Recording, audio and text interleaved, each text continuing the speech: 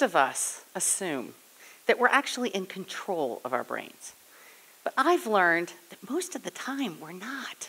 We're actually on autopilot, not really taking advantage of all of the great capability that our brains provide us.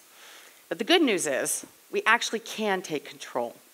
By knowing your brain's patterns and preferences, you can not only take control, but you can significantly expand your potential. I know because it changed my life. But this is really personal.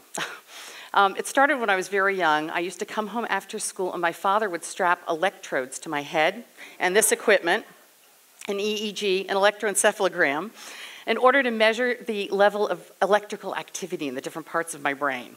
Why? Well, he was a scientist by training, but he was head of management education at General Electric at the time and was trying to figure out a scientific explanation for creative thinking in order to see whether or not they could really teach it to GE employees. And so he started wiring everybody up neighbors, friends, whoever he actually knew. And as a matter of fact, sometime later, in spite of the fact that I begged him to not do this, he actually even wired up my then boyfriend, now husband, to see what was happening in his brain. well, what he learned was important for GE, that you could, in fact, teach creative thinking. But since then, so much more. The impact has been tremendous on thousands of people around the world who are actually taking control of their thinking for better results. So, why are we on autopilot? Well, it's interesting. The brain is actually, by design, unbelievably lazy. And, you know, it's, it's really organized around learning patterns and then trying to recognize those patterns so that it can be more energy efficient. And it becomes like a pattern seeking machine constantly scanning the environment. And this allows us to go on autopilot, which actually can be pretty practical. We can get into some preferred ways of doing things and not have to think too hard. So, for example, once you've learned how to write, most of us don't have to think about which hand we're going to use when we're going to actually write something down. Or once you've learned how to drive, I would suspect that you go on autopilot, right? And maybe you've even you don't even pay attention to the last five miles, or maybe even go whizzing past their, your normal turn for home. So, the downside of patterns is that when things change, which they inevitably do, uh, we can get caught off guard. If by chance you have to start learning how to use your non preferred hand, like my son did when he had a weight training accident and had to take a big test, it was unbelievably draining for him to actually learn how to use that. He could do it, but it was draining. Or even like me, when I have to change keyboards, maybe you've experienced this, and I think I'm hitting the delete key, and I realize, oh, in fact, no, it's not the delete key, and I don't even know where the delete key is. You can get frustrated. So, one of the best ways to understand patterning is through language.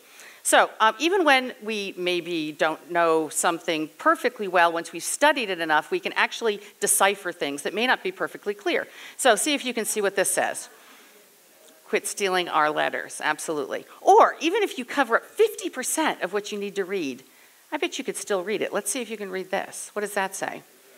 Good times are here. Yeah, I guess most, most of you got that correct. Or, or did you? no tricks here, right? Ah, okay. Well, this is what Daniel Kahneman, um, author and researcher, calls the traps of fast thinking. And that is that we leap to conclusion. Our brains kind of leap ahead based on all the patterns and the biases and the preferences and experiences that we've had over the course of our lives. Now, the antidote, which I'm going to recommend you try, is slow thinking, which is paying attention to your thinking. What that does is it allows you to really wake up that lazy brain of yours. The first step for you is awareness. Awareness of context. Why? Context is what the brain looks for first in any situation. It sort of scans the environments for a pattern goes, oh my God, I see it, I got it. And then knows what to do. It can make some assumptions about what to do. I don't know about you, but sometimes assumptions have kind of led me astray. I was in Vietnam with my husband visiting a major city. We were walking down the street and got hit with a torrential rainstorm. So I go running into a store to get something to protect myself and buy a poncho, right? We've all of us have bought ponchos before, so I didn't think this was a very complicated decision. And as soon as I came out, my husband took one look at me and said, What's with the window? And I was like, I didn't even recognize that there was a window there in the first place. And of course, I assumed that it was about my body, which of course it wasn't, right? And, and so we didn't really know what this window could be for until we decided to look up and look out and get out of our context and what we saw on the streets around us was hundreds of motorbikes with many people wearing ponchos. And when you took a closer look at the poncho, you saw that the window was actually designed for the motorbike. Uh, not for me, the motorbike, for the light to shine through. So, what do you do to break out of these patterns? Well, one of my favorite tools is something I call a mind hack. You're basically hacking your brain's autopilot. And it's really useful to kind of get mentally unstuck or shift your perspective. And so, a great mind hack for this is something called assumption reversal. So, my assumption was it had something to do with my body. If you reverse that and you say, it had, this window had nothing to do with my body, suddenly it opens up your brain to think of new perspectives. So, you can always use a mind hack to shift your thinking. Now, the second step is to recognize what your preferred patterns might be. Now, a lot of people assume since I grew up with a researcher studying this stuff that I sort of instantly got it. But it wasn't until I was a young adult working with other people that I started to really understand the implications of his research. I had volunteered for a community project, a fundraising project, and had assembled a team, and so we had an accountant, I had a retired drill sergeant, um, a school counselor, and myself, at the time, an entrepreneur.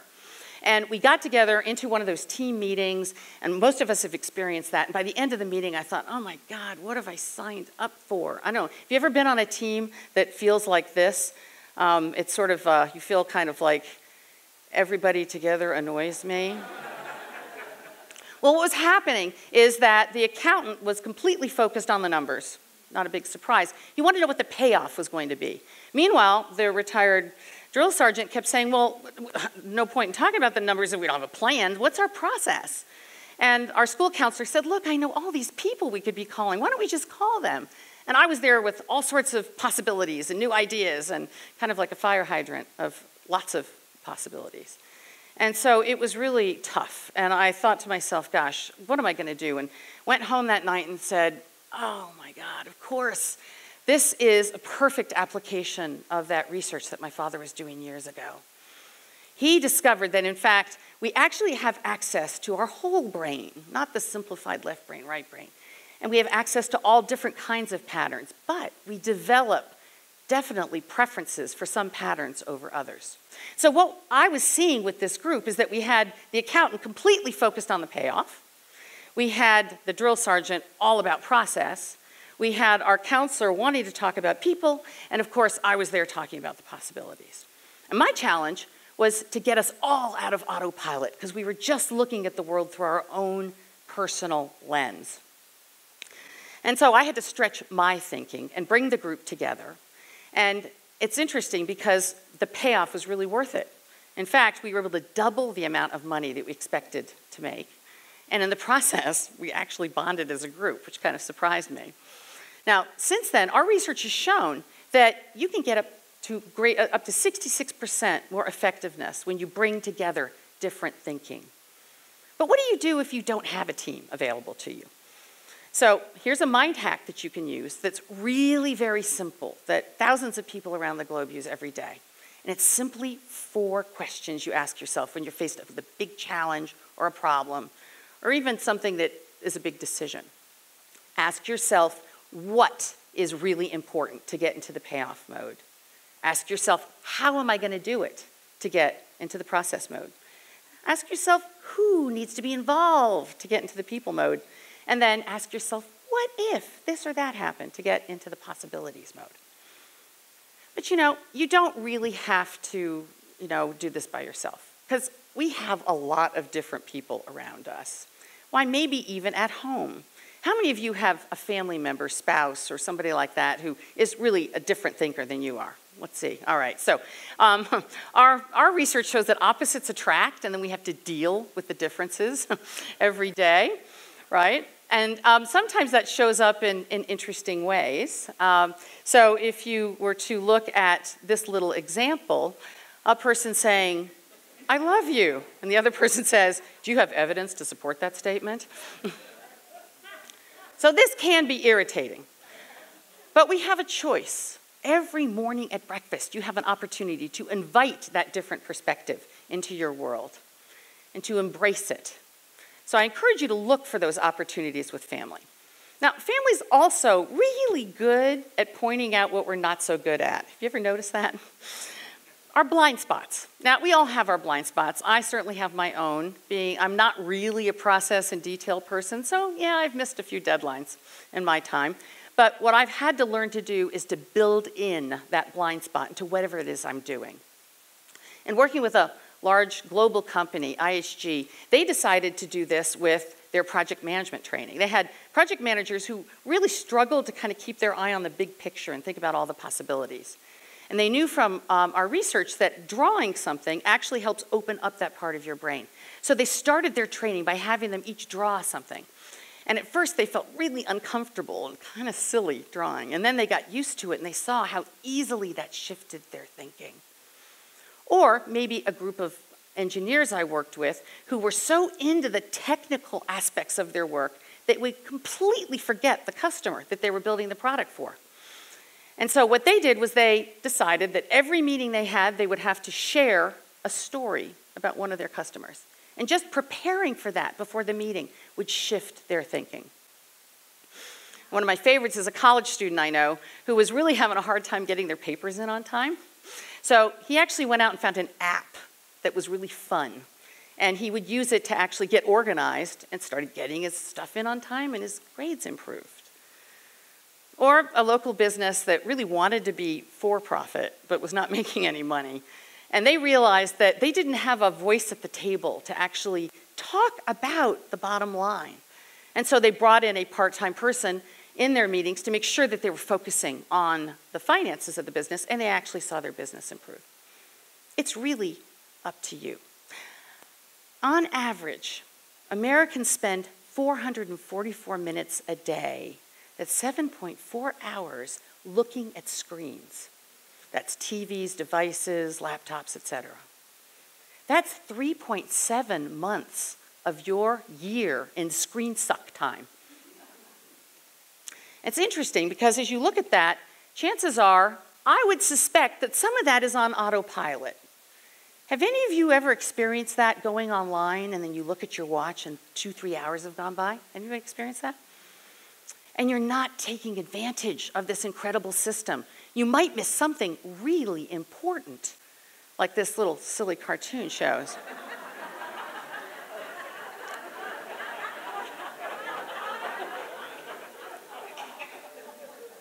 it's up to you. It's really up to you. You can take control of your brain. Be aware, especially of the context that you're in. Recognize your patterns and your preferences. Invite different perspectives to the table. Manage your blind spots by building them in. Be intentional about where your thinking time goes. Choose to wake up that lazy brain of yours. You know, in life, we can either kind of sit in the back seat of the car and kind of ride along on autopilot, or we can move to the front seat, take the steering wheel, and take control of this incredibly precious resource that we have. So, the one thing you need to know about your brain is for best results, use daily. You've got a whole brain, leverage it. Thank you.